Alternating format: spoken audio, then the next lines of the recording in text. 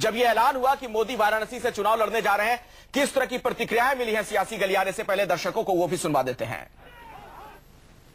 कल शाम में नरेंद्र भाई के टिकट का ऐलान बनारस में हुआ और पूरे उत्तर भारत में लोग जश्न में डूब गए। और ऐसे दिन हम लोगों ने किया है कि लोग एक तो त्योहार होली की आ, आने ही वाला था और कई जगह होली शुरू हो गई है लेकिन नरेंद्र भाई के टिकट के ऐलान से ही लोग जश्न में डूब गए। पूरे उत्तर प्रदेश में ही नहीं, पूरे उत्तर भारत में इसका बहुत बड़ा लाभ होना है। और अब ये स्थिति स्पष्ट हो गई है कि नरेंद्र भाई के नेतृत्व में सरकार बनेगी। इसमें कोई शक की गुंजाइश नहीं है। पूरे देश में मोदी जी का वातावरण बना हुआ है। इलेक्शन से पहले ही लोगों ने मोदी जी का प्रधानमंत्री के रूप में सिलेक्शन किया है। बस अब तो मोहर लगना बाकी है।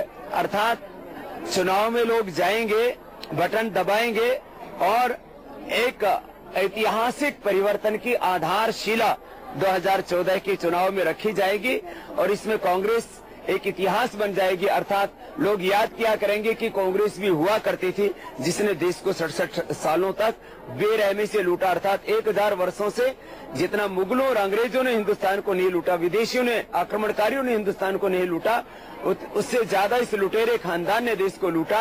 अब यह, इसको देश के लोग इसका पूरा बहिष्कार करें।